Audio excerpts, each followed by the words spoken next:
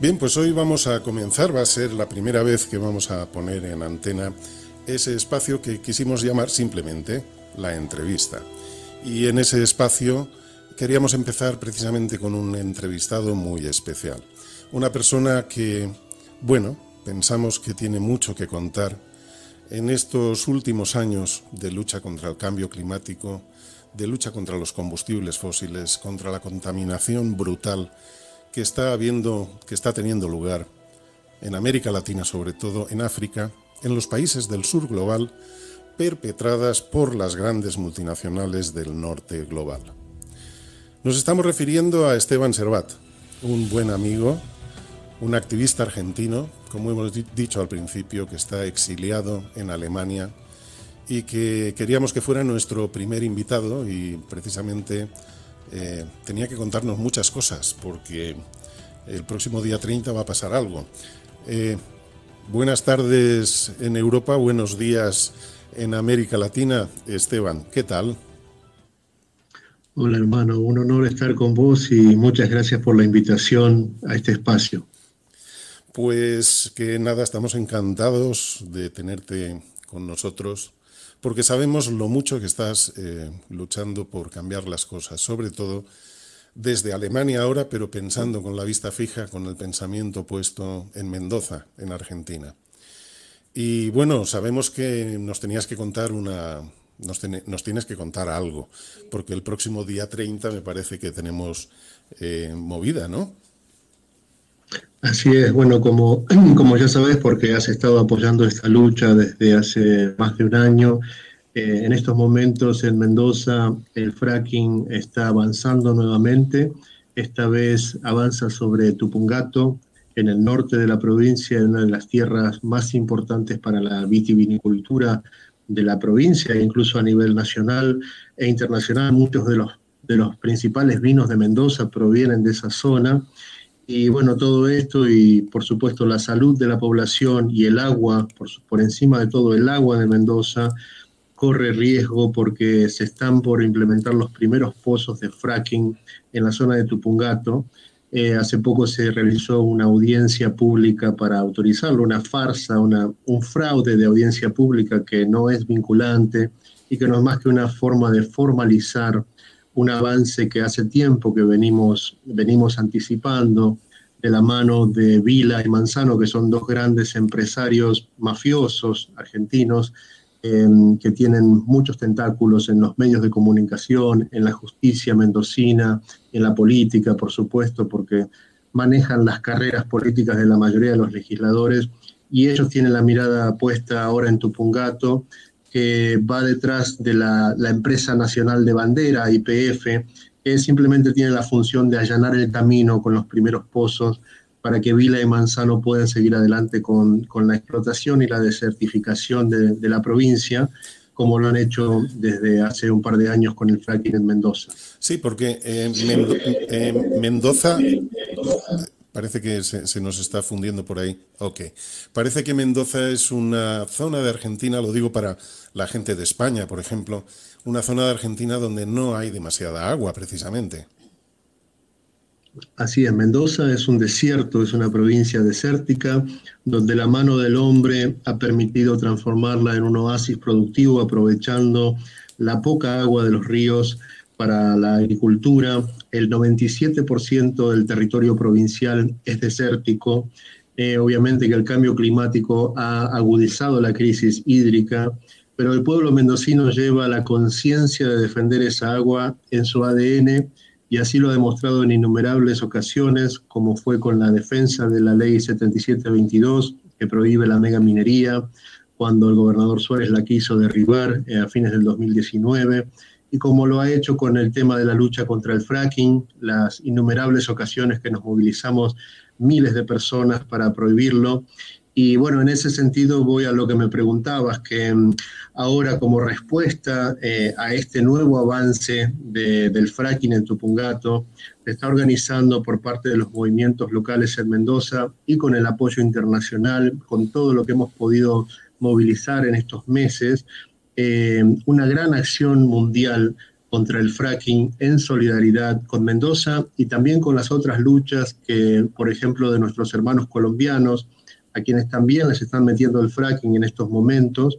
Y mm, vamos a realizar una acción sin precedentes, porque aquí en Alemania, por ejemplo, vamos a ser miles de personas movilizándonos y no va a ser una movilización, va a ser una acción directa, no violenta, con el movimiento ambiental más fuerte de Alemania, que se llama Ende Gelände, que tiene una gran eh, trayectoria. Ellos directamente van a bloquear las minas de carbón históricamente y han logrado y se hacen arrestar y, y confrontan de forma pacífica con la policía, pero van directo al hueso del problema y en forma tan masiva que han logrado un gran impacto mediático que en el caso del carbón permitió que Alemania tomara conciencia de la necesidad urgente de dejarlo atrás y ahora, eh, por todas estas luchas que venimos dando, estas acciones de, solidaridad internacional que venimos realizando con vos y, muchos compañeros y compañeras de toda Europa,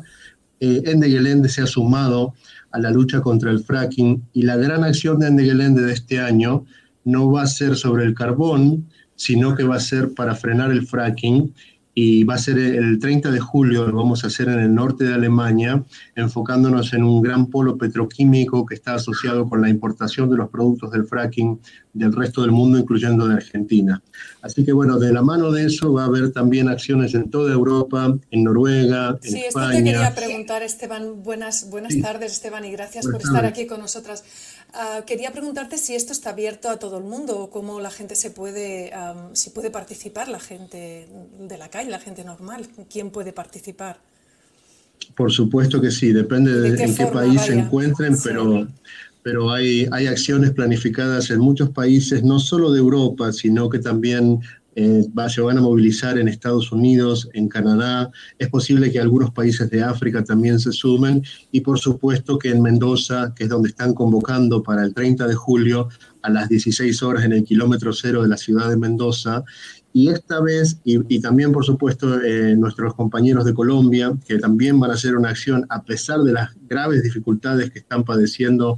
que no solo son los asesinatos que este año promedian un, defensor del ambiente asesinado cada dos días en lo que va del año, más las masacres de las que hablaba Grian al principio de la nota, eh, más eh, todos los problemas sanitarios, y a pesar de todas esas dificultades se van a movilizar. Y bueno, nuestra misión es que Europa empiece a escuchar estas, estas historias, que se amplifiquen las luchas de Mendoza, de Colombia, que en muchos casos son contra las multinacionales europeas y del primer mundo, están haciendo en el resto del mundo lo que no se les permite hacer en su propio país, que es el fracking, porque aquí está prohibido, eh, ustedes en España lo han prohibido, en Inglaterra también, en Francia también, sin embargo, en Noruega también, sin embargo, son las multinacionales de estos países las principales impulsoras del fracking en Vaca Muerta, en otros países del sur, y, y, que además sin los cuales no sería posible avanzar, porque Vaca Muerta es una gran burbuja financiera y es una burbuja psicológica en la cual necesitan la presencia de Shell y Repsol, eh, Hoy Total y BP y demás, porque dan una señal de que eso tiene futuro a los inversores, cuando en realidad no lo tiene. Entonces, es muy importante que logremos movilizar y generar conciencia en los países del primer mundo, especialmente en Europa, donde el movimiento ambiental es muy fuerte y tiene un gran impacto político, mucho más que en nuestros países, para que se dirija toda esa energía a esas multinacionales y al rol cómplice de sus gobiernos para poder frenar esto, porque si le podemos frenar el consumo que se hace desde Europa y el rol de sus multinacionales en la extracción del fracking en, Argentina y en el resto del mundo, eh, realmente tenemos una gran oportunidad de empezar a, derrumbar el fracking y que se vaya de Mendoza, que se vaya de Colombia, que se vaya de Río Negro y que por, por fin podamos lograr una de las victorias más importantes que tenemos por delante que es la victoria contra una de las industrias más contaminantes del planeta. Eso te quería preguntar, eh, eso te quería preguntar, Esteban, que en definitiva, porque claro, aquí en Europa estamos diciendo, uy, mira, ya está aquí el cambio climático, nos estamos empezando a asustar, pero eh, la gente debería saber que la peor de todas las industrias de combustibles fósiles que hay en este momento en el planeta es el fracking. Es decir, eh, estamos comprando, los europeos estamos comprando fracking que se está extrayendo de Argentina, de Colombia y de otros países de África, por ejemplo, también, y eh, resulta que es la peor y la más contaminante a nivel de lo que sería el cambio climático. Eh, esto significa que tendríamos que hacer algo, ¿no? Tendríamos que hacer mucho más. Y eso mismo que vos decís, Grian, es la mayor hipocresía que tenemos en materia ambiental, eh, los que vemos acá lo que están haciendo los gobiernos europeos, porque el fracking, como bien decís, hace dos años hubo un estudio científico de la Universidad de Cornell en Estados Unidos, en el estado de Nueva York, del doctor Robert Howard, que es uno de los principales expertos en metano a nivel mundial, que determinó que el fracking es responsable de más de la mitad del incremento de todas las emisiones de metano a nivel global durante la última década proveniente de combustibles fósiles, o más de un tercio del total del, incremento cuando se toma en cuenta los orígenes biológicos y demás. Eso quiere decir que el fracking es una de las principales causas de la aceleración en el cambio climático y los grandes, las grandes entidades mundiales como el panel intergubernamental sobre cambio climático no dicen una palabra al respecto, a la vez que están eh, avisando y advirtiendo sobre los récords de emisiones de metano a nivel mundial sin nombrar a los principales responsables. Esto es criminal porque el metano tiene una huella de carbono, tiene una, capacidad de calentamiento global que es 87 veces mayor que el dióxido de carbono. Entonces, todos estos datos se omiten eh, en todos los discursos oficiales, en los convenios climáticos, en el Acuerdo de París, y están vendiendo el, más, el fraude más grande de la historia a nivel ambiental, es de decir que el gas que viene de fracking es una energía limpia de transición que la van a poner acá en Europa para dejar atrás el carbón. Están diciendo, bueno, el gas es mucho más limpio que el carbón, pero omiten deliberadamente todo el proceso de producción y transporte, que cuando lo tomas en cuenta, que es lo que hay que hacer, porque esto es una industria global y la huella de carbono debe ser global, y no solo tomar la huella de carbono del gas en el lugar donde se quema, porque ahí sí que la, la huella de carbono es menor que lo que debería ser,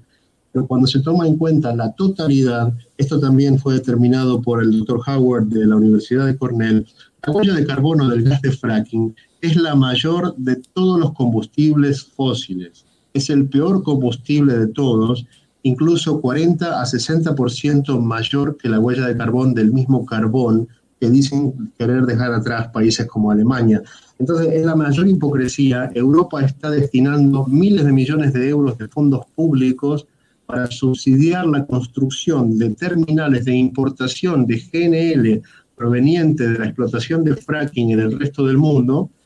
y, con la promesa de que este es el combustible del futuro y un combustible puente, como lo llaman, es una gran promesa y lo tenemos que frenar porque los gobiernos siguen mintiendo y no hay acuerdo de París posible cuando tenés un yacimiento como Vaca Muerta, que por sí solo va a consumir el 15% de todo el presupuesto de carbono que le queda a la humanidad para cumplir con el 1,5 grado de temperatura que se, que se puso como, como objetivo en ese acuerdo de París que ellos mismos están, están saboteando a través de sus empresas, a través de importar los productos de esa, de esa destrucción. E, esas serían las consecuencias, esas serían las consecuencias, Esteban, que tendría eh, el fracking a nivel mundial. Pero ¿qué consecuencias está teniendo el fracking en Mendoza, concretamente en Mendoza, en Argentina? ¿Qué está pasando con el fracking allí? Bueno, mira, la situación en Argentina es dramática. Mendoza es una provincia donde el fracking se introdujo de manera más tardía que en las provincias vecinas como Río Negro y Neuquén, donde las consecuencias son devastadoras. Eh, tenemos un gran compañero, Juan Carlos Ponce, a quien le mando un gran abrazo de la Asamblea de Comahue en Allen, eh, que siempre explica muy bien estas cosas, junto a su esposa Lidia, han venido muchas veces a Mendoza a alertarnos de lo que ya pasó. Ellos siempre dicen, venimos a, no venimos a decirles lo que va a pasar, sino que a contarles lo que ya pasó para que no les pase a ustedes. Y eso es, es dramático porque el índice de leucemia infantil en pueblos como Allen triplica el promedio nacional debido a la contaminación con los más de 600 químicos altamente tóxicos y corrosivos que se usan en el cóctel, junto con más de 40 millones de litros de agua por cada pozo de agua pura que se utilizan y que quedan irreversiblemente contaminados. 40, perdona,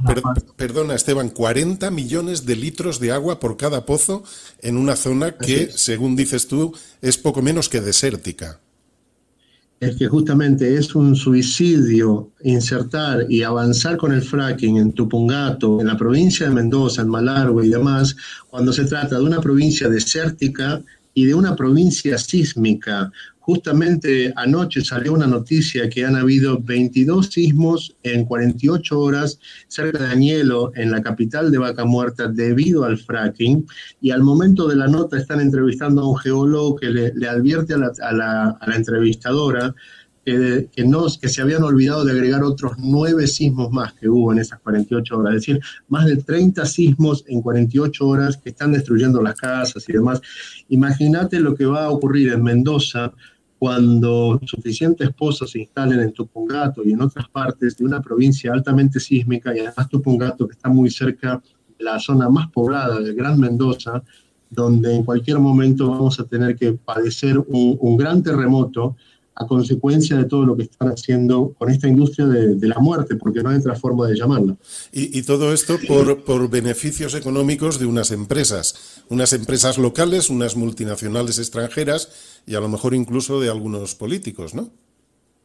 Bueno, es que eso es lo que tenemos que resaltar, el, factor colonialista que esto tiene, porque en, gran parte estos son recursos y riquezas que no le quedan a nuestro país, que no le quedan a Colombia, no le quedan a los países del sur, sino que son extraídos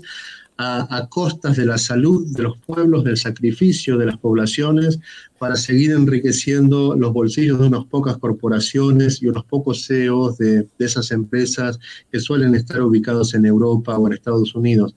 Entonces se trata de algo más que una cuestión climática, es una lucha por la justicia también, es una lucha para evitar que se generen zonas de sacrificio, como lo están haciendo con Allen, como lo han hecho con infinidad de poblaciones en todo el mundo. Y bueno, esta lucha y esta convocatoria que han lanzado los movimientos de Mendoza y con los cuales vamos a participar amplificando esa lucha en todo el mundo, eh, es muy importante para que Mendoza no corra el mismo, no tenga el mismo camino que han, que han padecido Allen y otros pueblos en Neuquén y demás, porque el tiempo se acaba, el agua se agota, Mendoza se está quedando sin agua y hay que movilizarse para, hay que volver a las calles, porque cuando está en riesgo el recurso vital más elemental, eh, no hay cuarentena ni pandemia que justifique no defenderlo.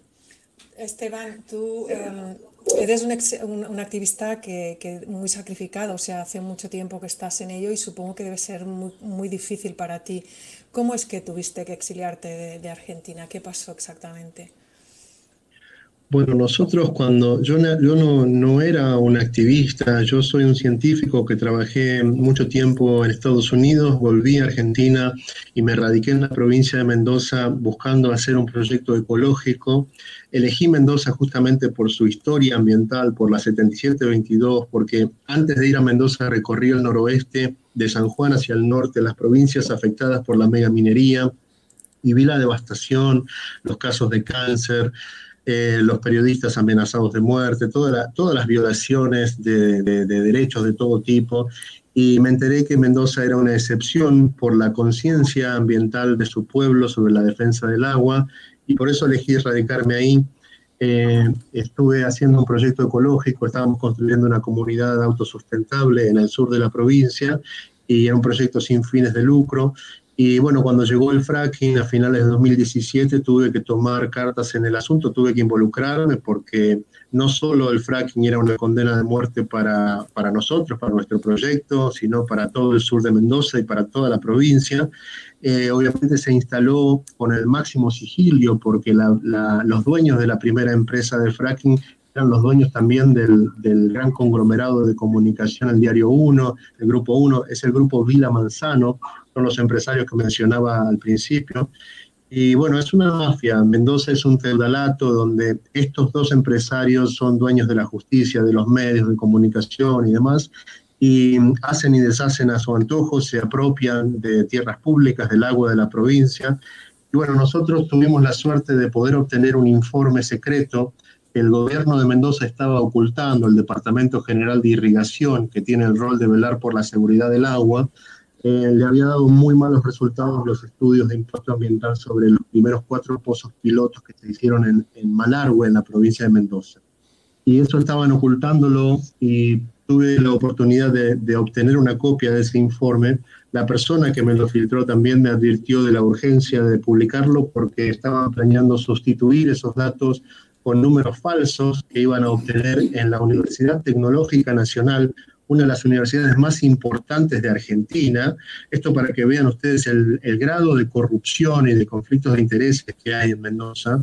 En la Universidad Tecnológica Nacional, en, en la sucursal Mendoza, el vicedecano Ricardo Fuentes era al mismo tiempo un representante de la empresa de fracking, cuyas muestras de agua se iban a analizar en su propia facultad, en el laboratorio de aguas está fusionado con el de irrigación. Entonces, era urgente publicar eso. Creamos un portal llamado Ecolix, inspirados en Wikileaks, uh -huh. que se creó para publicar documentos secretos y censurados, ¿no? Y eso generó una gran movilización, pero para hacer la historia corta, eh, tuvimos un año y pico muy fuertes de grandes marchas, movilizaciones, hicimos un peregrinaje que nos permitió unir a todas las religiones y los grupos y demás, movilizando miles de personas eh, con la intención siempre de, de, aunar fuerzas para que podamos tener la fuerza suficiente para presionar a la legislatura para aprobar la ley contra el fracking, que fue presentado el proyecto por las asambleas mendocinas por el agua pura. Y bueno, eh, todo esto tuvo como consecuencia una gran ola de persecuciones, de causas penales, de causas armadas, de operaciones mediáticas. Nos plantaron droga en nuestro proyecto, seguido de una operación mediática diciendo que éramos narcotraficantes y debíamos ser eh, encarcelados. Eh, nos usurparon el campo con documentos falsos armados por la municipalidad de General Alvear, rompieron el, eh, la tranquera y el, el, alambrado con una topadora de la municipalidad, eh, un sinnúmero de causas que tenían el objetivo de desgastarnos, de, de, sacarnos tiempo, energía, dinero, para que finalmente nos demos por vencidos y, y me tuviera que ir. Eh, otras causas me acusaron de violencia, de todo tipo. Tengo una causa tan absurda como intimidación pública por decir las verdades de lo que el fracking causa, que está científicamente demostrado a nivel global y por lo cual está prohibido en muchas partes de Europa, en, en Nueva York y en muchos lugares, me acusaron de, de, que yo estaba generando pánico en la población y me acusaron de esto, de este cargo de, de intimidación pública. Y, eh, y te, amenazaron, y te amenazaron de muerte también, ¿no? Sí, amenazas de muerte que tuve todo el proceso, pero hacia el final, cuando nosotros en 2019 tuvimos éxito dando vuelta a un par de las causas que nos habían armado, como la usurpación y una causa que me armó el intendente a título personal, el intendente de Alvear, en la cual fracasó, nosotros se la dimos vuelta y le devolví la denuncia porque él había hecho una falsa denuncia y había malversado fondos públicos para enviar al, al abogado de la municipalidad a defenderlo en una causa particular. Y bueno, ahí es cuando se agudizaron las amenazas de muerte, ya no solo contra mí, sino más contra mi familia, contra mi pareja. Y con ella decidimos irnos por la seguridad de ella y porque la, en ese momento el, el, bombardeo de causas penales no era, o sea, yo no soy ni el primero ni el último, ha habido otros exilios, ha habido muchos compañeros que se han tenido que ir de la provincia, se han ido a San Luis o a la, o a la ciudad de Buenos Aires, porque les han hecho la vida imposible y les han armado tantas causas eh, que se hacen imposibles de, de, sobrellevar, aunque tengas un abogado.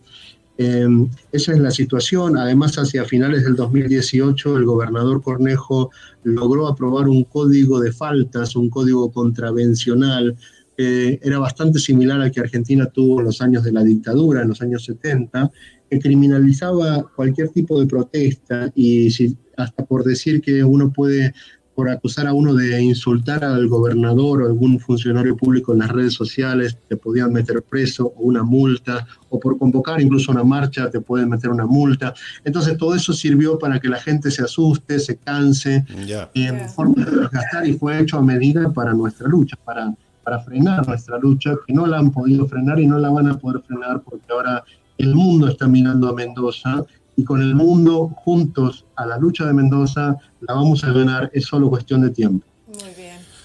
Pues, ¿qué podemos decir? ¿Qué podemos decir? Yo eh... quisiera que, que, repitiera lo de la acción es el día 30, ¿no? Sí. Y, y si alguna persona quiere dirigirse a dónde, uh, pues que pueda hacerlo para bueno. que... Sí, el, 30, bueno, hemos conformado junto con los compañeros de Colombia, de Mendoza y de muchos países del mundo esta Alianza Mundial contra el Fracking, que es la que está ayudando a organizar esta acción en el resto del mundo. Y la convocatoria va a ser el día viernes 30 de julio, es decir, dentro de 10 días o dentro de unos pocos días,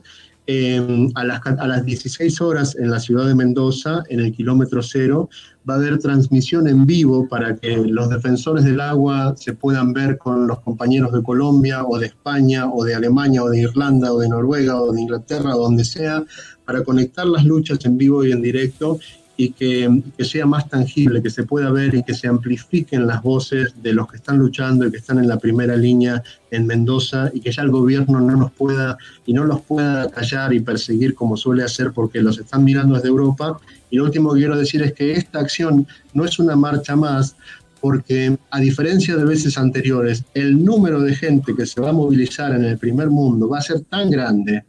que los medios de comunicación por primera vez lo van a tener que cubrir los medios masivos, estoy hablando, los medios convencionales, los que nunca han tocado este tema, lo van a tener que empezar a tocar. Por eso es una oportunidad única, porque los movimientos acá en Europa se están poniendo a disposición de nuestras luchas para que el contenido de esos artículos sea justamente la lucha de Mendoza, la lucha de Colombia y demás lugares que han sido siempre invisibilizados por las empresas, los gobiernos y los medios de comunicación. Bien. Pues muchísimas gracias. muchísimas gracias, Esteban. Gracias, Esteban. Y, nada. Tomamos nota y. Tomamos nota y bueno, y ahí vamos a estar de una manera o de otra. Exacto. Así que, eh, bueno, pues ya sabéis, el 30 de julio, ahí nos movemos. Gracias, Muchísimas Esteban. gracias. Un abrazo, Esteban. un honor estar en el programa. Y mucha suerte. Un abrazo grande. Gracias. Hasta luego. Un abrazo.